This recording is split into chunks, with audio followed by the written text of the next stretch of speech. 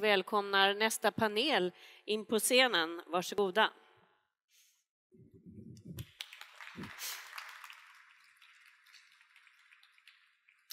Ja, då ska vi presentera er. Stig Björn Ljunggren, Ja, det är jag. debattör Ja, diverse, Eller? diverse arbetare. på tvärsen. Nja, jag vet inte. Folk säger att du försöker provocera. Jag har aldrig försökt provocera. Nej, okej, vi får... Däremot blir jag jävligt provocerad själv. Okej. Vi får se vad du har blivit provocerad av. Men tanken är nu att vi ska allihopa här knyta ihop säcken. Eh, Camilla Wagner, journalist som har varit här tidigare också och både varit eh, moderator och lyssnat hela, dag, eller hela eftermiddagen här. Och sen Niklas Myhr, välkommen hit. Du är eh, social medieprofessor, kan man säga så? Ja, det är mitt artistnamn. Det är ditt artistnamn och du bor i Kalifornien men kommer från Piteå, har jag uppfattat det rätt? Ja, precis. Ja, och, och du kan mycket om det här med personal branding. Det ska bli kul att höra vad du säger om det. Ehm, du har också varit här och lyssnat. Ja. Eh, Du kan få börja fråga, det har ju varit någonting som har varit viktigt. Olle Westberg, alla möjliga har pratat om hur viktigt det är att man verkligen gör det här personal branding. Eller du kanske ska berätta vad som ligger i det begreppet. Eh, Ja, det handlar ju om att man ska ta mer plats som individ och det ligger ju inte det norrländska kynnet direkt. Eh, Och det är väl någonting som man ska vara ödmjuk och kanske inte sticka ut från mängden så mycket men eh, i dagens samhälle måste man ju go a little wild and crazy som Magdalena Andersson började dagen med. Eh, Och det är ju att vara, överraska dig själv kanske, pröva ett nytt medium, nytt nätverk och det värsta som kan hända är oftast att ingen ser dig. Så eh, Så varför- det är lättare kanske vara det när man inte behöver stå på en scen och synas. Eh, Ja, men fler borde ju ta större plats i samhället eh, debatt och inte bara uppifrån de här eh, potentaterna utan det, det, folkmyllan. Man måste ju ha upp Mm. de eh, unga också är duktiga på det här men det finns en möjlighet för, eh, för ett samhälle att marknadsföra sig genom de ansikten som representeras, eh, som staden representerar istället för att bara ha ledarna. Digitala ledarskapet är viktigt men även att få med de här, den här mångfalden av människor som finns där, som blommar ut. Eh, eh, om jag ber er två då, du, Stigbjörn, du får börja. Vad har du blivit provocerad av idag då? Nej, inte provocerad, men eh, det fanns en... en eh, det bör, alltså under dagen och framförallt när näringsministern talade om den fantastiska kulturen vi har och så där. Så först i Sverige då med jämlikhet, icke-hierarkier och så vidare. Så det som saknades var, tycker jag, eh, också att vi ska vara eh, stolta över de stabila institutioner vi har i samhället. Ja, vad fan menar han? Ja, alltså icke-korruption. Alltså vi har, vi pratar, när vi pratar om byråkrati i Sverige så är ju det kattskit jämfört med de flesta andra länder. Och eh, tjänstemännen, eh, byråkraterna, är alltså regelstyrda. På gott och ont kan man väl säga, för ibland måste man ju se mellan fingrarna för att få saker och ting gjorda. Va? Inte, ja, som de gör i Göteborg, de kör ut ett eh, gruslass och så blir det fixat. Ja, ni förstår vad jag menar. Och, och, och eh, det där får vi inte glömma bort och då handlar det naturligtvis om att, att, att man har den här, och det var eh, man inifrån från Västsveriges eh, handelskammare här. Då antecknar du flitigt såg jag. Ja, för att, att men det är viktigt va, alltså att, att man har, alltså det här klimatet handlar inte, alltså inte bara om det handlar om attityd i det där med att man ska få saker och ting gjort. Eh, Det finns en, en känd svensk forskare som heter Bo Rothstein Mm. som håller på mycket med det med korruption, eh, eh, institutioner och sånt va? och försöker förklara framgångarna vi har haft i vår del av världen eh, på grund av att vi inte är korrupta. Och han brukar säga att det är jävligt konstigt om man går på en fotbollsmatch, en hockeymatch, där publiken skriker sig hes för det ena eller andra laget. Ingen jävel hejar på domarna! Och det är ju de som får det att fungera. Och så är det, det, därför det, det skulle jag vilja säga här, att, att tänk på att ni måste också ha bra domare. Och vilka är domarna i det här fallet då? Nej, men det är väl så att säga det, byråkratin. Eh, Kommuner? Ja, och- ja, att man har en positiv attityd va? och inte bara låter sig fråga juristen, får vi göra så här? Nätverka med de personerna lika mycket som de måste nätverka med. Ja, ja alltså det, det är någon slags, alltså så här då. Det pratas om stabila elnät. Det brukar alltid komma upp när man ska Mm. prata, prata om i Sverige, billigt och stabilt. Men det finns också i politiken ett behov av stabilitet så man vet vad som gäller, inte minst i den värld vi är på väg in i. Det är ingen, alltså med, med Trump, Brexit och, och cirkusen vi har här hemma. Då, blir, och då tror jag att, att, att det här är en del av eh, världen och av Sverige som kanske kan erbjuda någon slags stabilitet och möjlighet att se framåt. Mm. Vad, vad tänker du, eh, Camilla, när du har lyssnat? Eh, jag, jag skulle vilja komma tillbaka till det som Steven sa strax om det här med eh, institutionerna. Men vad jag tänker först, nu har jag varit med här några år och det, det finns en myt eh, om att västerbottningar har så lågt självförtroende och är så tystlåtna och så vidare.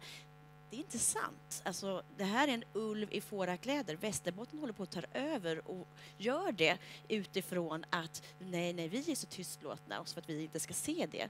För att titta vad som händer här. Alltså, det ser ni några andra regioner i Sverige som är här? Eh, har ni sett aktiviteten som Västerbotten har i Almedalen och alla aktiviteter som görs? Eh, det händer Men varför har det här begreppet blivit ett begrepp då, menar du? Nej, men det har säkert varit så, men det lever kvar. Och, och det jag tror, nu raljerade jag lite grann att vi tar över världen, men det är ändå, om vi, vi måste sluta säga att västerbottningar har dåligt självförtroende. De västerbottningar som jag känner har inte särskilt dåligt självförtroende, utan är helt vanliga, glada eh, människor som tror på sig själva och har stabila eh, värderingar.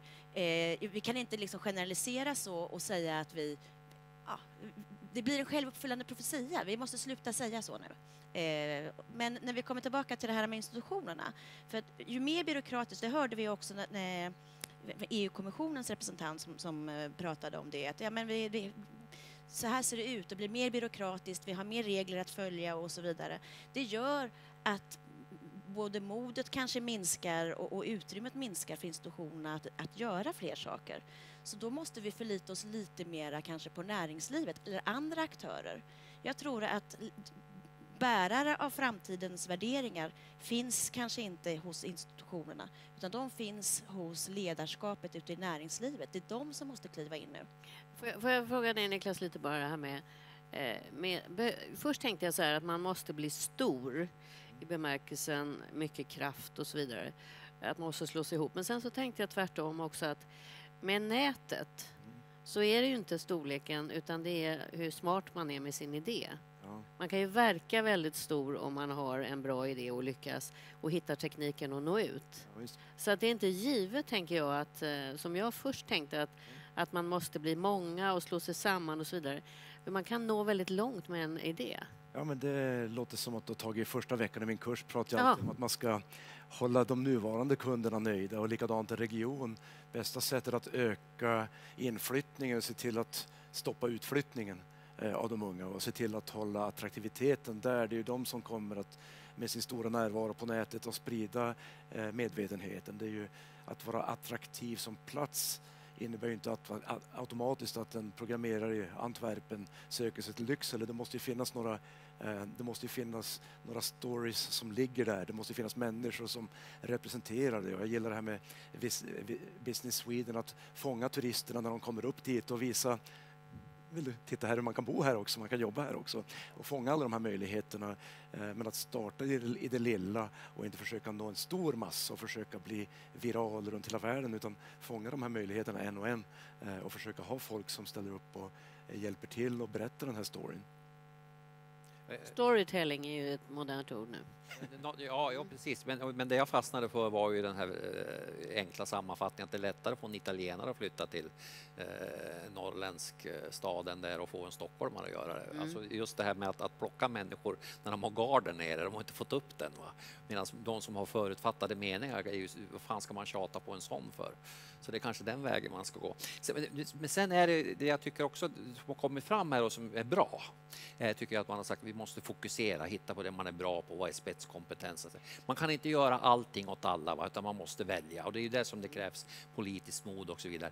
Men då tycker jag att, att, att det som är poängen med Västerbotten, det måste ju vara både att man har den här, det som kallas för skräpytor nu, fast man vill befolka dem med hjälp av bredband och, och eh, inflyttning av italienare och holländare, vad det nu är för någonting. Eh, och att det finns också någon slags embryo till en urban miljö, typ Umeå. Men eh, det ska, eh, om man bara gör reklamfilmen där folk som hugger ved och, bor på vischan, va? så är vi som är uppvuxna på landet är inte alltid så charmade av detta, kan jag säga. Eh, men man ska ju också ha så fall tycker jag visa, vad heter det, Liljansberget, det nybyggda studentområdet. Va? Där, eh, nästan alla röstar på Fi, va? man har månadsinkomst på 6 000 kronor. Va? Och, och så det är en urban, har liksom med, med den här eh, liksom, eh, urbana utbildningssamhället att göra. Månadsinkomst på 6 000? Ja, typ, ja, men det är studenter. Okej. Men, men alltså, vad, vad, vad det handlar om här, nu talar vi om hur man får folk till Västerbotten väldigt mycket. Om man tittar åt andra hållet så, så tänker jag att har man inte väldigt mycket att lära av musikindustrin? Eh, jag tänkte på Lisa som stod här och berättade också att man kan bo, idag kan, det är inte frågan om att ge ut skivor och sånt längre utan man kan om man har en jättebra låt och är skicklig på att få ut den på nätet så kan man nå väldigt, väldigt långt, världskarriär. Det, det är ofta folk tittar på nätets möjligheter att hur ska vi nå ut till hela världen men man tänker inte andra vägen för att det ska bli en nätverksekonomi kanske vi ska börja konsumera musik från andra länder mer eh, och försöka upptäcka saker som ligger utanför de här topplistorna i Sverige och använda det och visa att det finns en kulturell grogrund för nyfikenhet och kanske bygga relationer med musiker i andra världsdelar som kanske sen sprider Umeå-musik eller annan musik från regionen eh, på de ställena. Eh, och den där, likadant med företagande, att eh, hålla på och coacha företag som Hanna pratade om, att eh, man kommer igång och gör affärer i Umeå. Det handlar inte bara om att företag ska etablera sig i Umeå. Det är kanske att företag eller ungdomar i Umeå ska ta möjligheter utomlands också. Att det ska vara en two-way street. Men varför är du i Kalifornien och inte uppe i Piteå då? Eh, Jag åker till Piteå så ofta jag kan, men eh, det är ju en fantastisk stad som man ser att det finns möjligheter att eh, samverka med på tillfällig basis, i mitt fall då, men att jag ser att det finns entreprenörskapsanda även där som växer. Nu undvek du lite frågan, varför bor du i Kalifornien? Ja, det är en mycket bra fråga. Ja, det, är väl, det är väl inte bara med vädret att göra, utan det, det är möjligheten att... räcker inte det långt Nej, precis. argument. Nej, nej men att eh, jag ser ju eh, världen som ett ostron så att eh, man upptäcker eh, där man trivs och eh, samtidigt så försöker jag vara en global medborgare som Men är det inte så att det finns otroligt mycket större förutsättningar där du är nu? Att eh, verka i den bransch du är? Eh, Det finns ju definitivt möjligheter som jag kanske inte såg eh, när jag var, eh, växte upp i Norrland men samtidigt så ser jag att det Norrland jag lämnade har förändrats. Mm. Det finns entreprenörskap och det finns fantastiska företag som jag upptäckt i hela Norrlandskusten också så att jag ser att definitivt att det händer saker. Och, och barndomsvänner som startar datacenter i, i Piteå och, och det finns fantastiska kreativa byråer i Skellefteå och det finns eh, verksamheter i Umeå som man kommer i kontakt med. Så att, eh, Jag tänker Camilla, det som Stigbjörn sa också att det, det, det kanske blir farligt om man går för långt till att man romantiserar. Jag bara följer direkt när jag såg de här familjerna och med barnen och hästarna och snön och allt det där härliga och ha tid framför allt. Eh, och sen så är det ju så att det ska också till ett liv där man ska, vi jobbar ju trots allt väldigt mycket. Eh, så att är det risk att man gör för mycket av det? För det är ju jobben som ändå är så viktiga att lyfta liksom i det här. Ja, det, naturligtvis är det väldigt viktigt att vi skapar jobben därför att vi kan inte leva i den här tryggheten utan att ha våra inkomster. Men, men jag tänker på det som, som Niklas sa, det handlar ju verkligen om att behålla först de, de man har där. Och då tänker jag återigen på om företagen kliver in i en större del eh, så att man, för men PVC, Sparbanken eller whatever som, som har sina kontor där behöver ju också se till att kunderna återskapas och stannar kvar. Eh, och om då... Eh, jag vet att vi förra året så pratade vi om eh, de nyanlända som kommer som ju är en tillgång till regionen eftersom det befolkar. Eh, då måste vi ju se till att de stannar kvar och får jobb. Eh, men de får inte lära sig svenska förrän de har fått uppehållstillstånd. Istället för att, om institutionerna då inte har möjlighet att göra det för att sådana här är reglerna, då skulle man ju kunna tänka sig att näringslivet kliver in och finansierar eh, språkkunskaper där. Och så har vi människor som kommer snabbt ut i samhället och som blir nya potentiella kunder. Och det vill ju väldigt många företag göra så det finns ju lite andra problem med den där valideringen och snabbspår som inte funkar allt möjligt sånt där. Men, men visst, det är väl en drömtillvaro att Jag man tänker inte bara på validering, jag tänker på överhuvudtaget att vara en del av lösningen på samhällsproblem oavsett ifall det är den eller vad det må vara. Eh, Olle, nej det var, jag kommer jag inte ihåg vem det var som sa det, men att PG Gyllenhammar hade betalat eh, för. Göteborgsoperan för man behöver kultur. Eh, ja, man behöver kultur och kommunikation var också en av de attraktionskrafterna vi har pratat om här idag. Och då är ju det också en väldigt viktig del, att man lär sig språket. Mm. Stig- ja. Stigbjörn sitter och väntar på att Ja, jag det- ska det hålla verkar som- horunge, för det sa Ja, han vad- till mig. vad- Jag vad- skulle- vad tänker du? Ha ett gräl här så att det Ja, just det. Nej, men eh, den här, eh, du har ju redan varit inne på den här romantiska bilden, men, men det är ju hårda fakta egentligen om man ska ha mat på bordet också. Så att det är ju... Ja, ja, Och då finns det ett hårt fakta som jag har saknat. Okej. Allt det här fantastiska vi har hört om digitalisering och allt vad det är för någonting och, och, och liksom fan och hans moster. Det finns ett, ett faktum som man ibland måste påminna om. Det behövs vägar. Mm.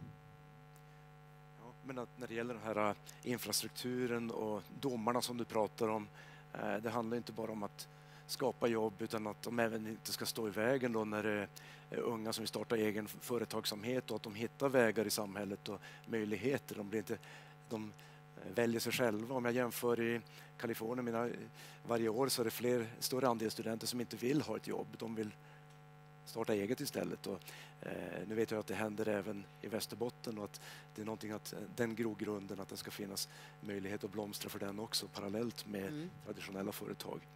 Jag, jag tänker lite grann på också, jag kom ju från ett eh, seminarium där det var, eh, handlade om fastigheter. Och de talade allihopa om att de var fullständigt övertygade om att det var bara urbanisering som gäller. Alltså ingenting annat. Och, och, och de pratade om, det ser man i hela världen, och titta på alla unga, de vill bara bo där. Och hur hanterar man den frågan, tänker jag då? Eh, och tror ni på att det är så? Men ja, det, det kan vi faktiskt inte veta, för ingen utveckling är totalt linjär. Nej, men vi kan ju inte veta, Eh, men, men de är ju så, Men spekulerar ju också. 1850 så räknade man ut att 1950 så skulle jordytan i städerna ha ökat med en och en halv meter för att det skulle vara så mycket hästbajs på gatorna för man kunde inte förutse att bilen skulle komma. Eh, så att det kommer ju hända massvis av andra saker i vår utveckling. Så att jag tycker att den där trenden, jag, är inte, jag ger inte så hemskt mycket för den spaningen. Nej, men det är ändå det som eh, all, hela världen pratar om. Ja, och det är därför jag säger vägar. För att då kan man bo eh, så att säga, i närheten av det urbana centrumet i någonting som då är- liknar någon slags landsbygd. Men det, jag menar, folk vill ha en, eh, en timme högst till ICA Maxi. Och, då säger man att de bor på landet men de vill ha alla de här faciliteterna. Jag tror att det är en trend, det är ju en tusenårig trend. Eh, kanske till och med ännu längre att vi flyttar in mot städerna.